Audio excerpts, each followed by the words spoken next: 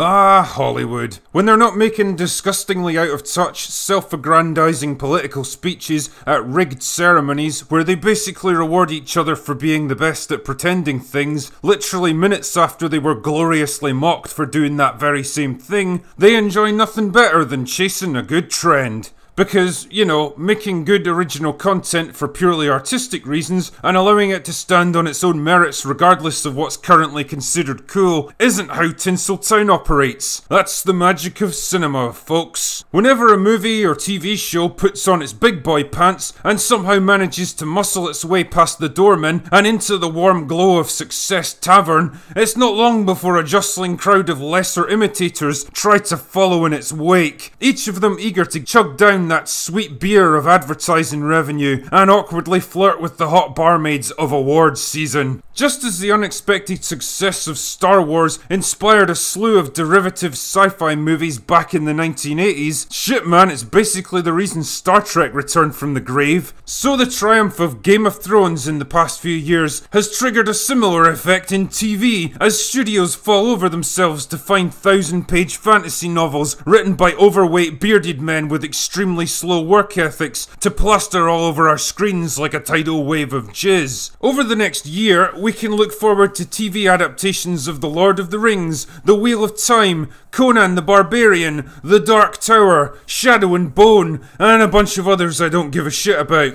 The point is, everyone wants to be the next Game of Thrones. Which brings me neatly along to the topic of today's video, The Witcher, a fantasy adventure series about a monster hunter named Geralt of Rivia, based on a series of books by, uh, this guy. Now, I can't say I'm too familiar with the book series, but I do know I'm a big fan of the Witcher video games. They were violent, gritty, filled with swearing and copious nudity, and laced with a dry sense of gallows humour. A bit like Christmas in the Drinker household then. Anyway, I was interested to see what they might do with a TV adaptation, whether it would manage to create a compelling yet believable fantasy world, or tumble off into madness and farce. Whether it would stay true to the dark, grim, and unforgiving source material, or succumb to the recent trend of forcing woke, progressive, diversity quota politics into stories and settings that are completely inappropriate. And as it turns out, it actually does a bit of everything. Allow me to explain. So, The Witcher is set in your typical medieval fantasy world of magic, monsters, and mayhem. The story centers around Geralt of Rivia, a genetically enhanced monster hunter known as a Witcher. Not to be confused with an actual witch or a witch hunter, which are totally different things in this universe that just happen to share the same name.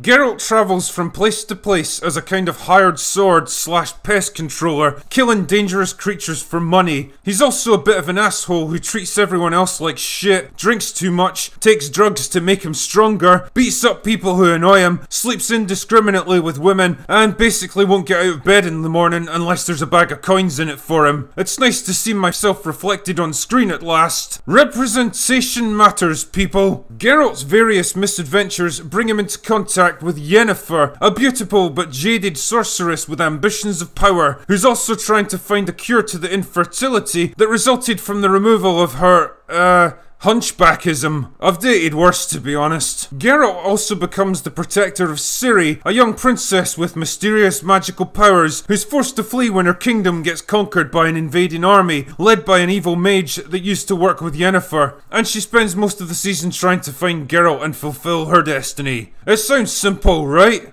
Wrong. Unfortunately, it's a bit more complex than that. See, the events in this season are shown out of sequence. Depending on the character you're following, one scene may have happened months, years, or even decades before the scene that follows it. But some characters also span multiple timelines and interact with each other at various points to set up future events. I'm gonna have to go some to make sense of this one, so hold on to your laxatives because I'm gonna dump a lot of shit in the next few minutes. Ciri is probably the easiest storyline to follow because it all takes place in the same time period. She's a teenage princess that's been living kind of a sheltered life in the kingdom of Cintra, protected by her grandmother Queen Calanthe, even though she looks maybe 20 years older than Ciri, and I genuinely thought she was her mum until like the fifth episode. I guess I wasn't paying enough attention then. But then the Nilfgaard Empire invades for reasons, and there's a big battle, and Cintra loses, and Queen Calanthe gets badly wounded in the fighting. Motherfucker, what are you doing? There's a very logical reason why generals, monarchs, and senior military commanders direct their armies from the rear. It keeps them safe so they can issue orders and reposition troops without constantly having to worry about dying. Do you have any idea how easy it is to get killed in a medieval battle? Why would you risk the fate of your entire army and nation by fighting on the front line where you could die at any moment? Also, you're a slender middle-aged woman that looks like she can barely even lift a sword. How much use do you think you'd be in a massed infantry engagement? But the script says, nah, it'll be fine. So that's good enough for me. Anyway, so Nilfgaard storm the capital, and Calanthe tells Ciri to find Geralt of Rivia for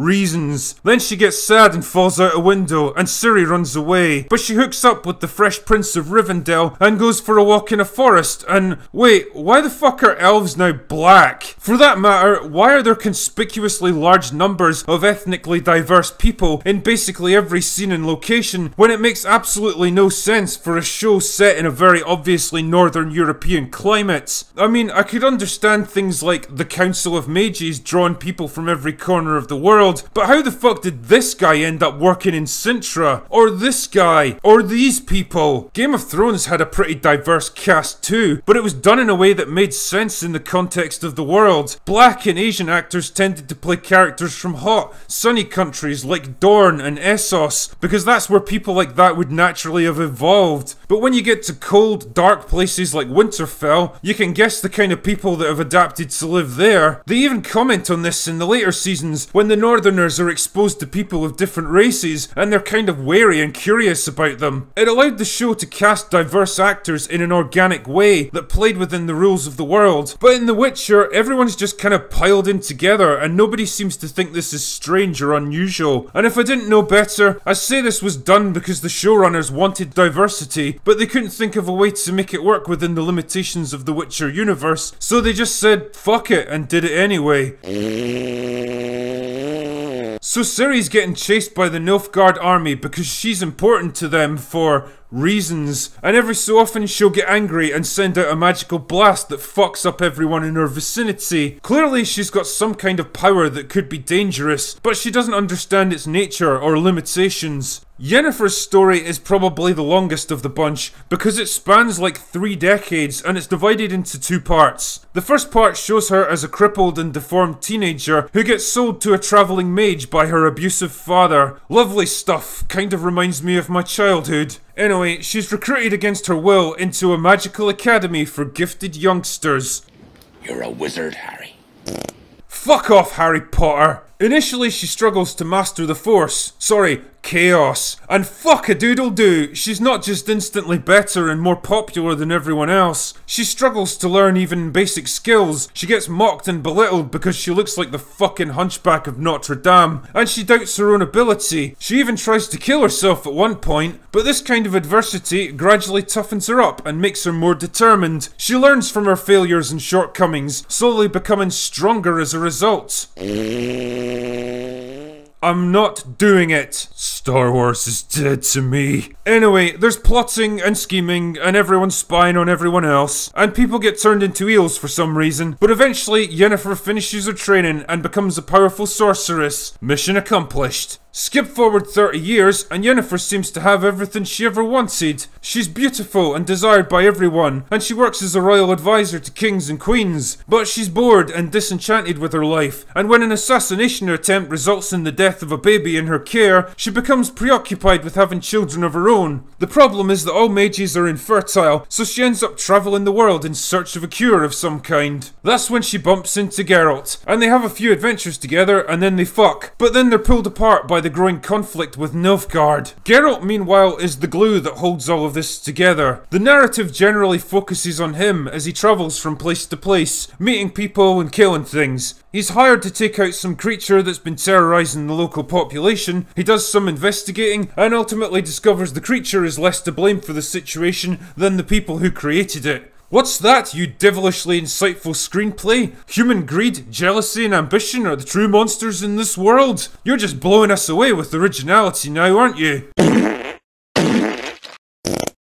But there's also a growing revelation of Geralt's involvement with Ciri over the years, and the events that led up to the invasion by Nilfgaard. All three of these timelines eventually catch up with each other, and coalesce around a big final battle to try to stop Nilfgaard invading the rest of the continent and save the world. And that's it, that's basically season 1 of The Witcher. So what the hell do we make of all of this? Well, I went into The Witcher expecting a solid but fairly predictable fantasy show that would deliver plenty of violence and nudity and wouldn't ask too much of its viewers. And while I was correct about the violence and the nudity part, my expectations were well and truly subverted when it came to the rest of it. The Witcher is a complex and demanding show that requires you to pay attention and retain lots of information to understand what's happening. And this is no easy task for a man with alcohol induced brain damage. There's no hand holding with this one. It doesn't ease you in with lots of comforting exposition and world building in the opening episodes. You're just thrown straight into the story and expected to figure it out. And to be honest, I think that's to its detriment. It expects a little too much from the audience right off the bat, but I'll get more into that later. Firstly, I will say there are things this show does exceptionally well, starting with the characters. I was kind of unsure about Henry Cavill when he was first announced as Geralt, and the early promotional images didn't exactly fill me with confidence. But actually seeing him in action, you can tell he really gets the character. He's gruff and dismissive, he drinks too much, sleeps with prostitutes, and clearly doesn't have a problem killing people who piss him off. This is not the kind of guy who agonizes over the morality of what he does, and he never indulges in pity or self doubt. That being said, there's just enough humanity beneath it all to give him a redeeming edge. When he's hired to deal with monsters, he'll do what he can to avoid killing them. When close friends are injured or in trouble, he'll risk his life and make heavy sacrifices to help them out. He respects the value of promises and oaths, even when it works against him. In short, he's hard and ruthless, but ultimately a fair and honourable man. Yennefer is the standout of the show for me. She's more powerful than Geralt, but also more flawed and complex and human. She came from basically nothing, clawing her way up through a mixture of hard work and natural ability. But once she gets what she wants, she gradually realizes that none of it really makes her happy, and perhaps it wasn't worth what she sacrificed to get there. Where have I seen this kind of character development before?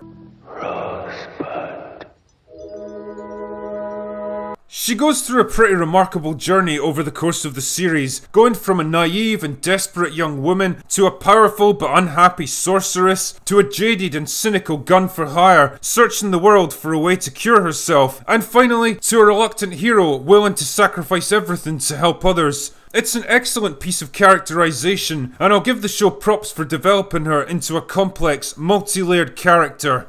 Ciri, on the other hand, is fine, but kind of bland overall. She's probably the least interesting of the big three, and the script doesn't really ask that much of her. She's more of an objective that everyone's fighting over, rather than an independent character with her own agency. They obviously wanted an actress who could convey a mixture of childish innocence and adult wisdom, and I think they found a good one in Freya Allan. She's 18 in real life, but she looks way younger on screen, although she's got that weird, creepy blonde thing going on, where it looks like she's got no eyebrows. There's also Jaskier, a travelling minstrel that hooks up with Geralt and becomes a kind of reluctant friend to him. He's not one of the major players in the story, but I'm gonna mention him here because he pisses me off so much. I honestly can't make up my mind whether I like this guy or absolutely hate him. Clearly, he's there to give Geralt someone to play off, and although the contrast between the two characters makes for some funny scenes, fuck me, they could tone him down a bit. And what really boils my piss is that he talks and acts like he just walked off the street in the present day. I know he's supposed to be the voice of the audience, but it's too much, it's too hyperactive, and it tries too hard to be funny all the time. And as we know from experience, when you have to try hard to be funny, well, you're not very funny.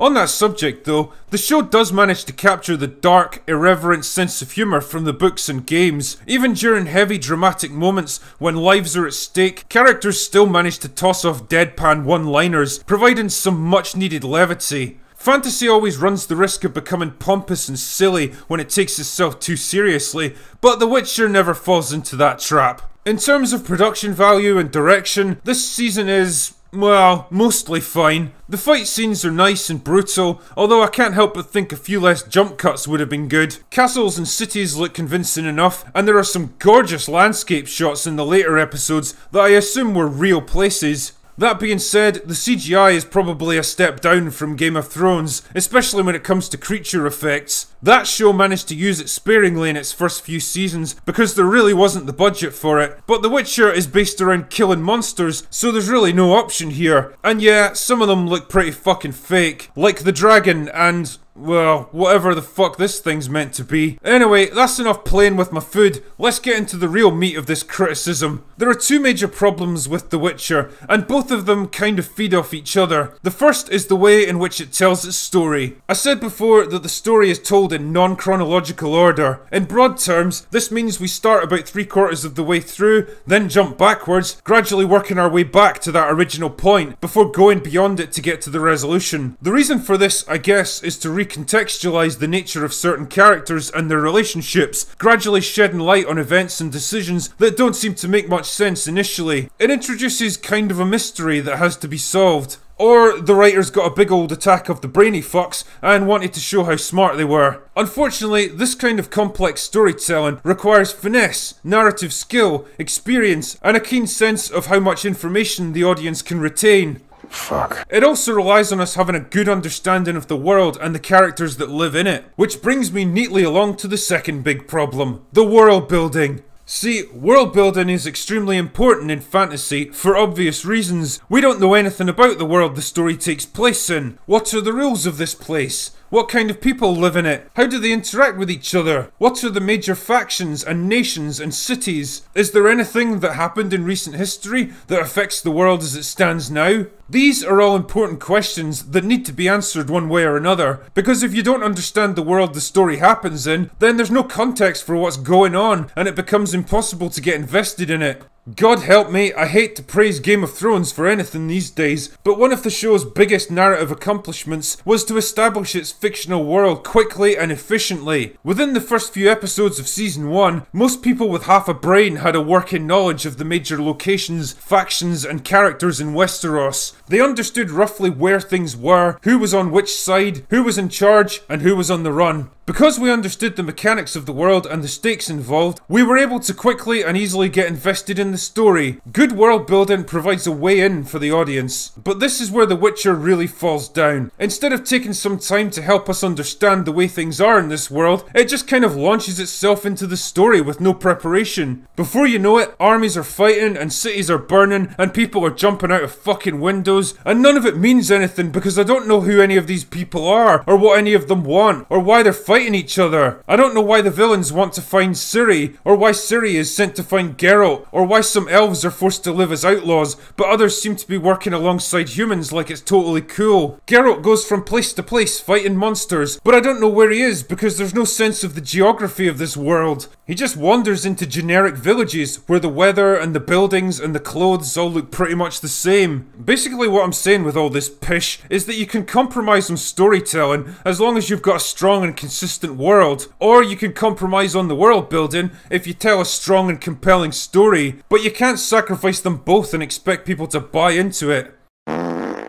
And this is the problem that lies at the core of The Witcher. Yeah, it eventually does get its shit together and answers most of these outstanding questions, and as long as you're willing to suffer through the first few episodes, there's definitely a compelling story here. It's just that you really have to invest the time and effort to get to it, and I can't help but feel the writers have made this shit a lot harder than it needed to be. I think the show also suffers from using some of the weakest source material available. From what I understand, the first season has been cobbled together from a collection of short stories, and it shows. It's fragmented and confusing and badly in need of a stronger backbone to hold it all together. It feels like what it is a backstory, establishing the characters and setting the stage for a narrative that hasn't really started yet. And that's a hell of a risky way to start off a new show. Overall, then, The Witcher seems like a show with a lot of potential that hasn't really come into its own yet. A show that's holding back its best stuff for future seasons. It might be a smart move in the long term, but it's also a pretty risky gamble considering there's half a dozen other shows just like it waiting to force their way into that tavern of success.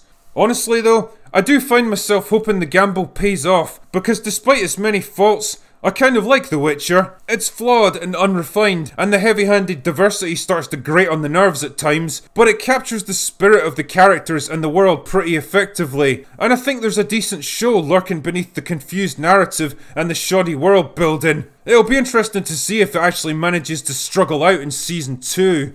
Anyway, that's all I've got for today. Go away now.